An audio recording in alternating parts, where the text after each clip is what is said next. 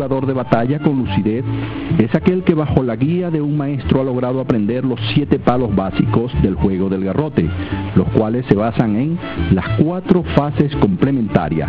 Primero, cuadro. Segundo, pisada. Tercero, vista. Cuatro, muñeca. Y en los tres valores técnicos, primero, desplazamiento. Segundo, defensa. Y tercero, ataque. Todo este conocimiento es lo que realmente califica y puede distinguir a un jugador de garrote de un batallero. Siete principios básicos para siete palos. Primero, palo al hombro. Segundo, palo a la rodilla. Tercero, palo a la cintura. Cuatro, palo a los pies. Cinco, palo al botante. Seis, palo al pecho. Y siete, palo del desarme.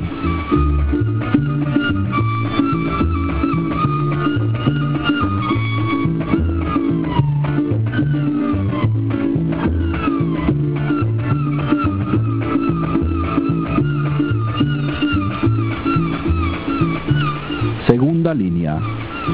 Siete defensas para tres palos en la carretilla. Primero, palo cortante al pecho.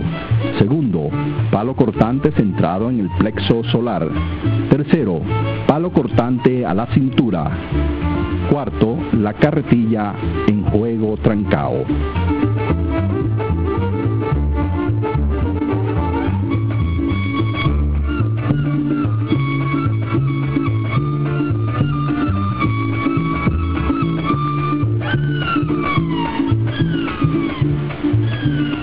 Línea. Siete defensas para tres palos y el barrecampo. Primero, palo al muslo y entrepierna. Segundo, palo a la espinilla y pantorrilla. Tercero, palo al tobillo por dentro y por fuera. Cuarto, palo al barrecampo.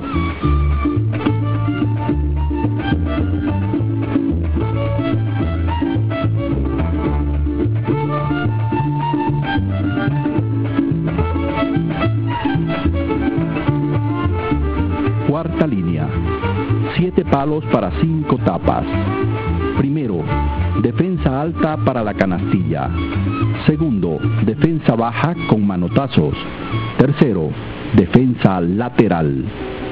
Cuarto, defensa de hombro y espalda, palo chorreado. Quinto, defensa agachada.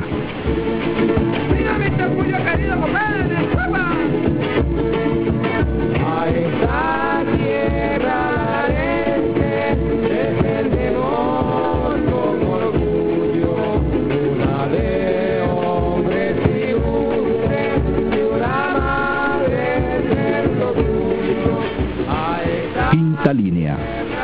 Siete palos para cuatro estocadas. Primero estocada a las costillas. Segundo, estocada o pullón al pecho. Tercero, estocada al hombro. Cuarto, estocada o pullón a la garganta.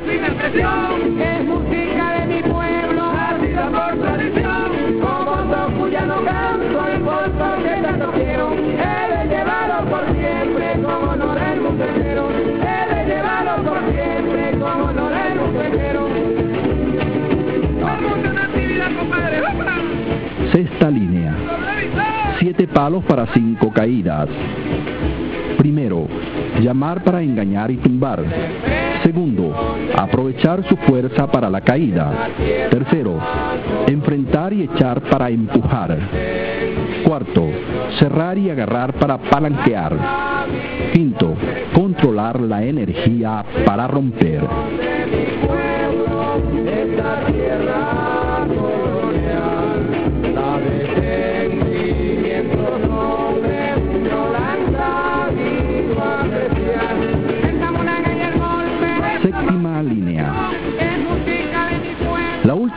Del juego del garrote que algunos maestros y expertos le llaman recogimiento o encierro del juego es el amarre de todas las técnicas aplicadas en combinación con caídas, defensa o en posición de rodillas, defensa contra cuchillos y tiros de palos en forma de machetes.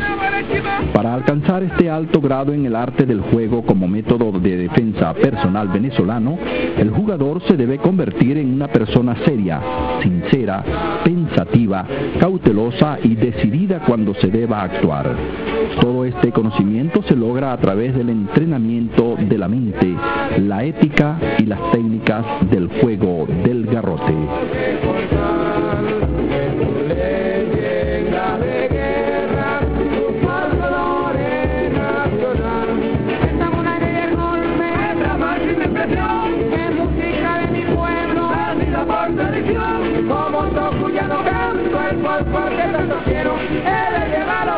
Siete caminos para un palo franco.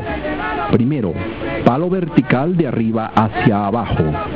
Segundo, palo diagonal de arriba hacia abajo. Tercero, palo horizontal hacia derecha e izquierda. Cuarto, palo vertical de abajo hacia arriba. Palo diagonal de abajo hacia arriba. Sexto, palo o estocada en la zona frontal superior. Y séptimo, palo o pullón en la zona frontal inferior.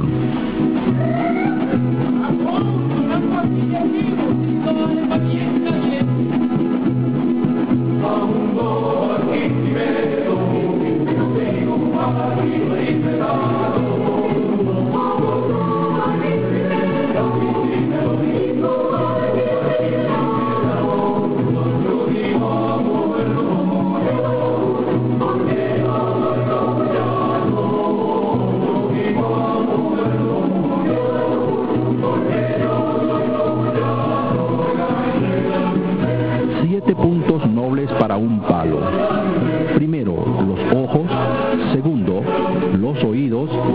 Tercero, la nariz. Cuarto, la garganta. Quinto, el plexo solar. Sexto, los genitales.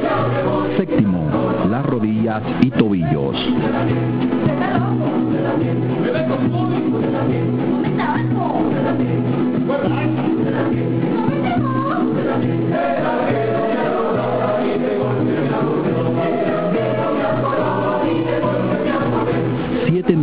De defensa para un juego. Primero, juego de la carretilla. Segundo, juego de la canastilla. Tercero, juego de barajo de palos. Cuarto, juego de plantes o trancaíto. Cinco, juego de tapas o bloqueo con pullón. Sexto, juego de palo con cuchillo. Séptimo, juego de palo en forma de machete.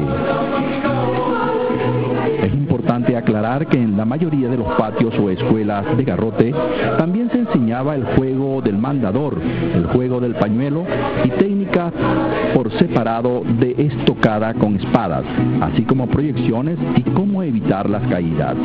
Gracias a la tecnología, la Fundación Escuela de Garrote León Valera ha logrado grabar en forma directa de los maestros de este arte venezolano algunas técnicas y demostraciones públicas de los siete métodos del juego de palos.